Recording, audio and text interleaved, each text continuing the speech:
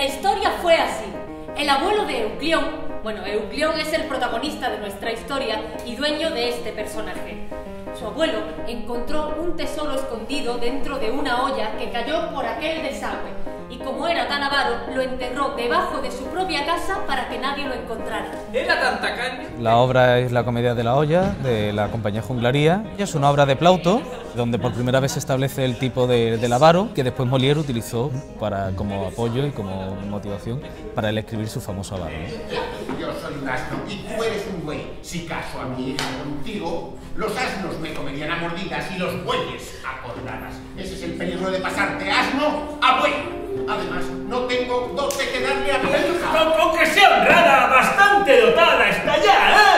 Nosotros la hemos extrapolado a la actualidad y hemos hecho una versión donde ese viejo avaro antiguo lo metemos en una alcantarilla con un montón de, de, personajillos que pululan a su alrededor, donde quieren cerrar de por medio un matrimonio, mientras él quiere guardar la olla y que nadie lo descubra, y todo eso es una comida de enredo que al final ya veremos cómo acaba, ¿no? Estoy seguro, este sabe que tengo un tesoro en casa y quiere echarle la garra encima, por eso quiere emparentarse conmigo.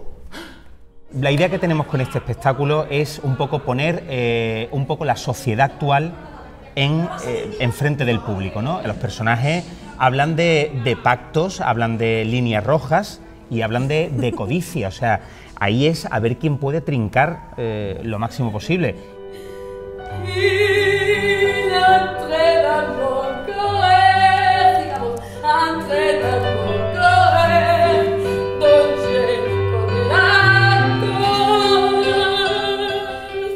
Animalizado los personajes, ratas, zorros, gatos, alimañas que están pululando entre basura.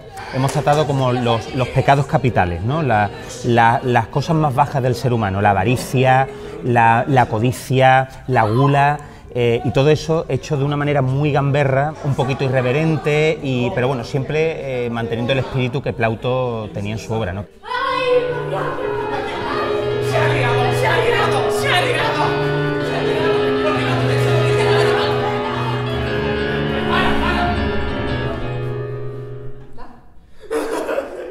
Y por otra parte, la, actuación de, los personajes es una actuación directa. Buscamos continuamente la cercanía y la complicidad con el público para que la comedia sea algo que a ellos les divierte, les dinamice. Hay que retomar un poco también el tipo de interpretación de la época, porque como estás en ese espacio, en el mismo espacio en el que estaban ese tipo de actores, eh, la proyección de la voz, la gestualidad, todo tienes que agrandarlo mucho más que en una sala en la que hay más intimidad.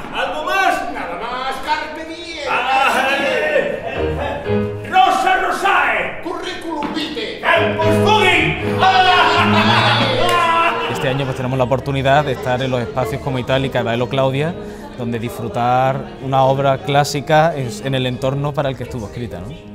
La Comedia de la Olla estará en Itálica el 12 y el 13 de agosto. 24, 25, 26 y 27 de agosto en Baelo Claudia. Y, y la verdad es que nos ha salido bastante divertido, creemos. El padre de la niña no sabe nada de nada. Bueno, no me pregunten cómo no se ha dado cuenta del embarazo. ¡Eh! Que no he saltado a ti. Perdón, perdón, es que me hierve la sangre. Ya, pero este es mi momento.